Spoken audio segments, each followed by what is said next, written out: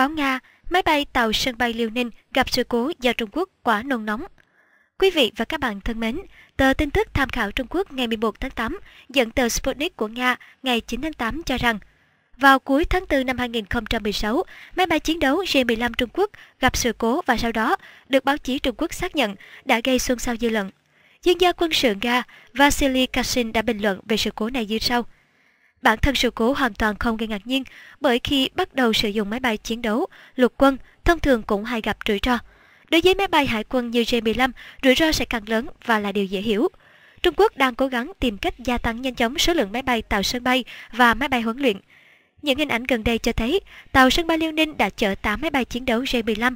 Hiện nay, tổng số lượng máy bay J-15 có thể đã trên 20 chiếc. Có thể suy đoán hiện nay Trung Quốc đã huấn luyện khoảng 20 phi công máy bay tàu sân bay.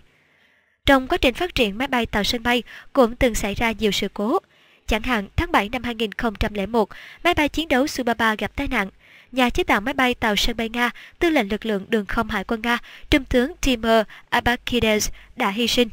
Máy bay của ông đã gặp sự cố khi hạ cánh, nhưng đây không phải là sự cố máy móc. Nguyên nhân tai nạn là công tác tổ chức bay làm mẫu không phù hợp, phi công đánh giá quá cao khả năng của mình. Do tài chính không đủ, Nga phát triển máy bay tàu sân bay rất chậm chạp. Từ thập niên 90 của thế kỷ trước đến đầu thế kỷ này, công nghiệp quốc phòng Nga đã thiếu nhân tài cao cấp khác với thời kỳ Liên Xô. Đương nhiên, Trung Quốc tìm cách để phát triển lực lượng đường không trên tàu sân bay trong ngắn hạn. Họ đã đặt ra yêu cầu mới cho cả công nghiệp, nhân viên kỹ thuật mặt đất và phi công. Muốn nhanh chóng chế tạo máy bay cho hai tàu sân bay đang chế tạo và đào tạo nhân viên tổ lái, người Trung Quốc cần được đào tạo lượng lớn chuyên gia cao cấp trong ngắn hạn, nhưng làm được điều này sẽ không hề thuận lợi. Các cuộc đàm phán giữa Nga và Trung Quốc về việc triển khai hợp tác trên phương diện phát triển máy bay tạo sân bay Trung Quốc được thúc đẩy vào cuối thập niên 90 thế kỷ trước và đầu thế kỷ này đã không thành công.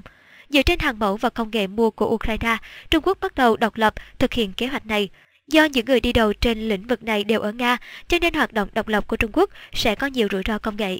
Theo chuyên gia Nga, do Hải quân Nga và Trung Quốc tận dụng tàu sân bay và công nghệ tương tự, hai nước có thể khôi phục đàm phán về hợp tác liên quan, trao đổi kinh nghiệm. Nga bắt đầu trang bị loại máy bay chiến đấu mới nhẹ hơn MiG-29K cho tàu sân bay của mình, nhưng cũng không đào tạo máy bay Su-33 cũ, thậm chí còn muốn tiến hành cải tiến nó. Vài tháng tới, tàu sân bay chở theo các máy bay chiến đấu Su-33 và MiG-29K sẽ đến Syria, sẽ lần đầu tiên tham gia chiến đấu thực tế ở đó. Điều này sẽ làm phong phú rất lớn kinh nghiệm tác chiến của tàu sân bay.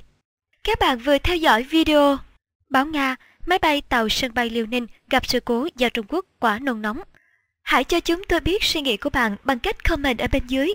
Nếu thích video này, hãy like và chia sẻ cho bạn bè của mình. Nhớ subscribe kênh để theo dõi những bản tin tiếp theo. Xin chào và hẹn gặp lại!